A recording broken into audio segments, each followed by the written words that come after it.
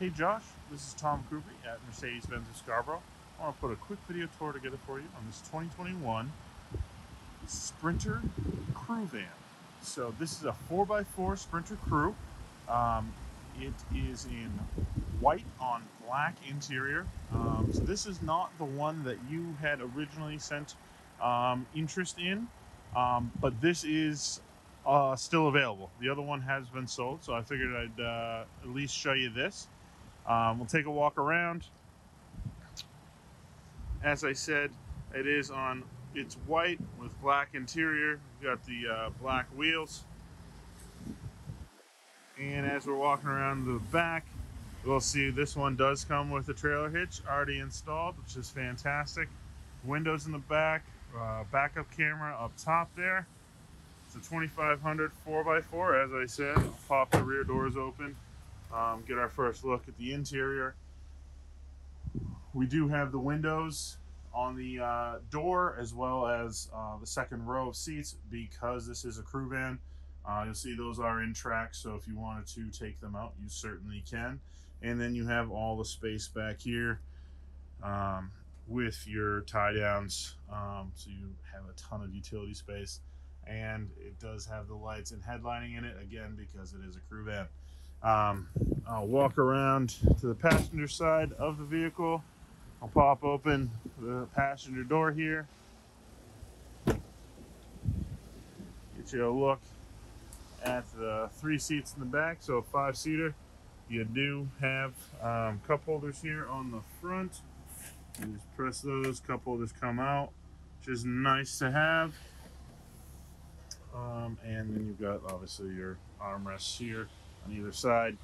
Um, and we're going to jump in the front and touch on some of the options features this one actually has equipped. All right, now that we're inside the truck, you will see we have power mirrors here on uh, the driver's side door. You've got your left and right button as well as the folding mirrors. So that middle button right there will fold your mirrors in. Got the auto headlights right there and the fog light buttons right next to it. Then you got your auto wiper setup uh, right behind the steering wheel, as well as your paddle shifters on both sides behind the, uh, the, the spokes of the steering wheel. Got a digital display here in your instrument cluster, all controlled with these buttons right here, as you can see as I said, about 3,300 miles on this uh, X courtesy car. Um, and as we come around, you'll see controls on the right side of the steering wheel. These top three buttons control your 7-inch uh, display over here. As you can see, we have it set on navigation right now. If I hit home, you'll see it comes back to all the other menus um, in the MBUX screen and you've got phone controls and volume control for your radio.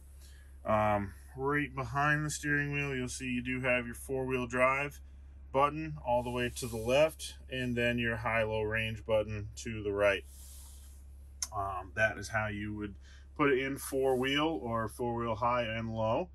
Um, then in the center, we do have the um, MBUX screen um, that does come with wireless charging, Apple CarPlay, and two more auxiliary uh, USB Type-C ports right there.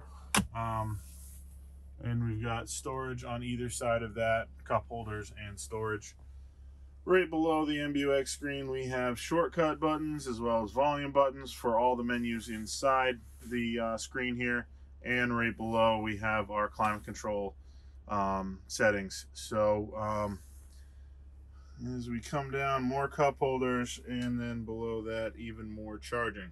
So bunch of charging bunch of storage options here. We got storage above both the driver and passenger.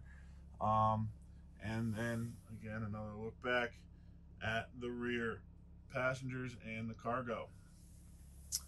So that is a very quick overview of this uh, 2021 Sprinter Crew Van please feel free to reach out to me if you have any questions. Again, my name is Tom McCoubrey, and you can reach me at 207 510 2286. Thanks.